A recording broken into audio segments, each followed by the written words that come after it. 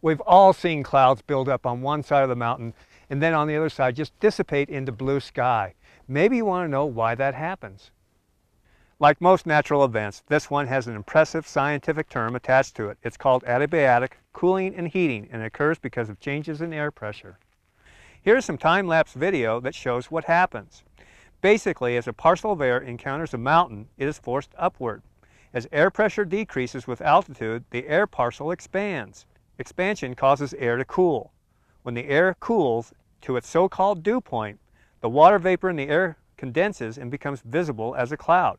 If there's enough moisture and the adiabatic cooling is strong enough, it rains or snows. Essentially, the opposite occurs on the other side of the mountain.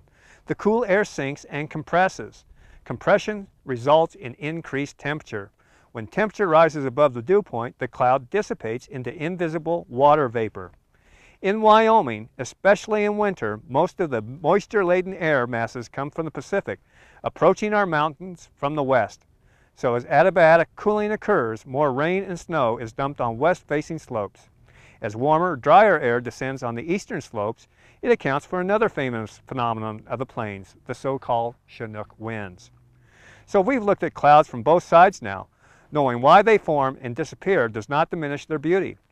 If it weren't for our mountains and the dynamic processes that occur, Wyoming would be a much drier place and frankly, much less interesting. I'm Tom Hill from the University of Wyoming Cooperative Extension Service, exploring the nature of Wyoming.